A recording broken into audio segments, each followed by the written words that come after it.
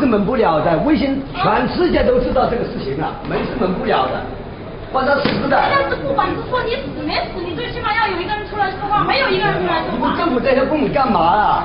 公务员这些人干嘛？农民。大家坐一下。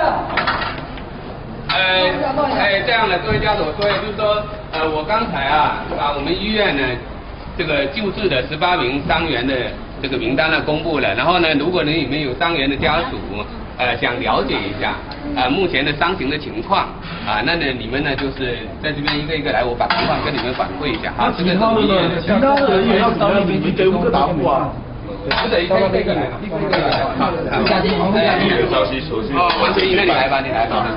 那一个一个一个一个一个一个一个，然后几个一个一个来，一个一个。这样子不行，这样子不行。法律你看，这都是就是有家有有人在里面的，那没人没人的这些人，我们要去哪里找人？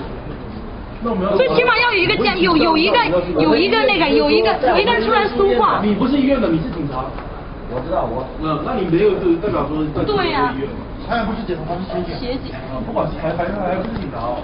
那你们你们是要怎么要怎么弄呢？对啊，那我们这没名单的要怎么弄？我们排队了，排队了，排队一个一个来。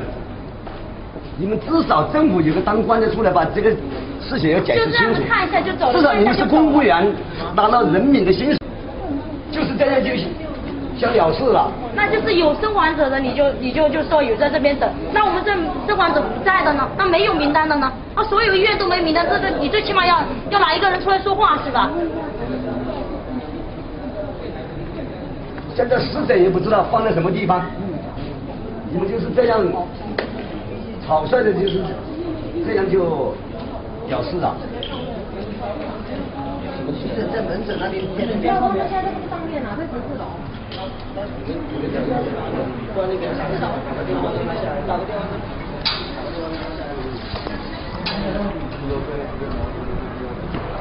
现在是什么情况？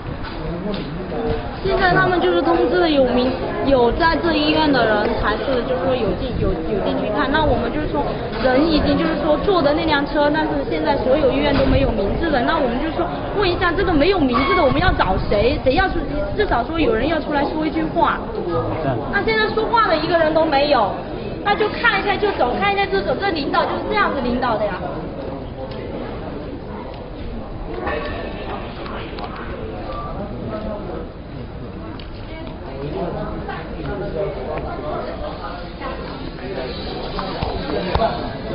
家里欢迎你。